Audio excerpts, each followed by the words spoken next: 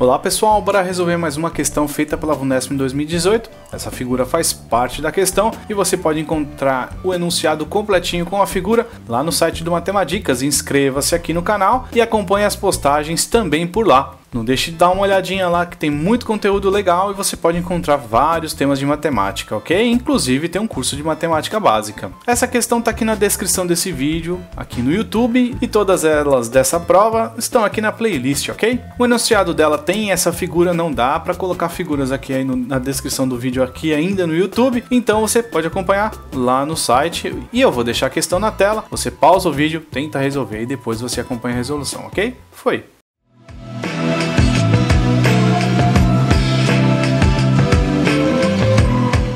E aí, conseguiu resolver essa questão de geometria da VUNESP? Bem legalzinho, enunciado muito bacana. Vamos dar uma olhada na questão.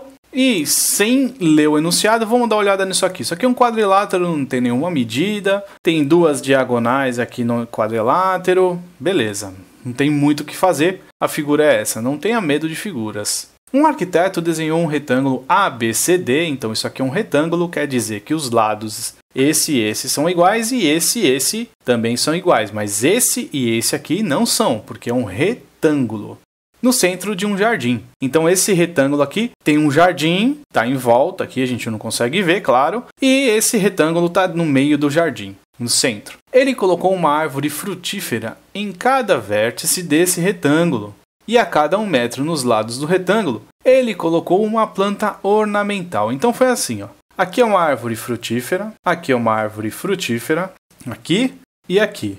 E aí ele foi intercalando aqui, ó, a cada um metro, uma planta ornamental. Eu esqueci de colocar aqui, né? Tem algumas marcações aqui, ó. Que são as plantas ornamentais. Então tem aqui uma planta, planta, todas as plantas ornamentais. Então, cada, o espaço entre essas plantas é de um metro. Um, um, um e um. E aqui também é um, um e um. Vou colocar um círculo aqui para a gente enxergar melhor. Beleza, quer dizer que esse lado total vale 4 e esse lado total vale 3. Vamos continuar lendo, que tem mais coisa anunciado. Aí ele fala assim: conforme a figura a seguir. Beleza, a figura está aqui, a gente já viu aqui que tem as, as árvores frutíferas, depois as ornamentais, a plantinha ornamental. Beleza, no ponto E, cruzamento das diagonais AC e BD, então nesse ponto E aqui, ele colocou uma fonte de água. Então tem aqui, ó, uma fonte de água. Aí vem a pergunta: a distância em metros entre a fonte e qualquer uma das árvores frutíferas é de. Então ele quer o seguinte: ele quer saber quanto vale a metade dessa diagonal, porque as plantas, as árvores frutíferas estão nos vértices, estão nos cantinhos aqui. Então ele quer saber essa distância, essa, essa e essa. Como é a mesma distância, então a gente vai fazer o seguinte: a gente decompondo essa figura assim, ó, no meio e aqui no meio, a gente enxerga um triângulo. Por exemplo, esse aqui, ó. Esse triângulo aqui, ó. É um triângulo retângulo. Vou desenhar ele aqui do lado. Aqui está a fonte de H2O, de água. Aqui está a árvore frutífera. E aqui, esse ponto aqui, é a metade desse aqui. Se isso tudo vale 3, porque a distância entre as plantinhas ornamentais e a árvore frutífera é 1, um, cada um desses aqui é 1, um, então o total vale 3. Essa metade aqui quer dizer que vale 1,5. Aqui é um ângulo de 90 graus. A gente quer exatamente isso aqui. E essa distância aqui, a gente tem que encontrar assim, ó.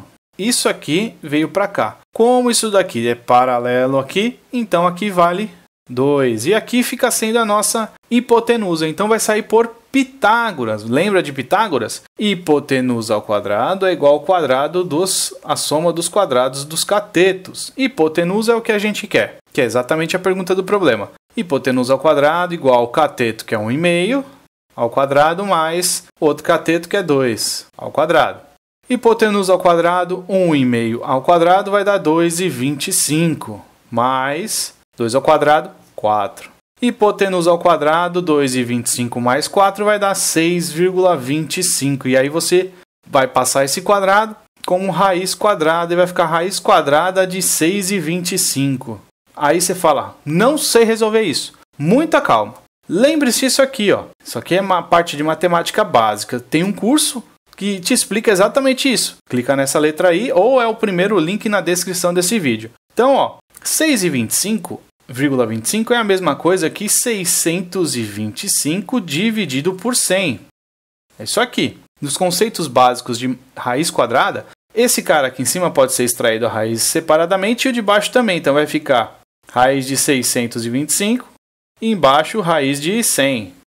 Aí é simples. A raiz de 625 é 25. A raiz de 100 é 10. E aí, ó, 25 dividido por 10 vai dar 2,5.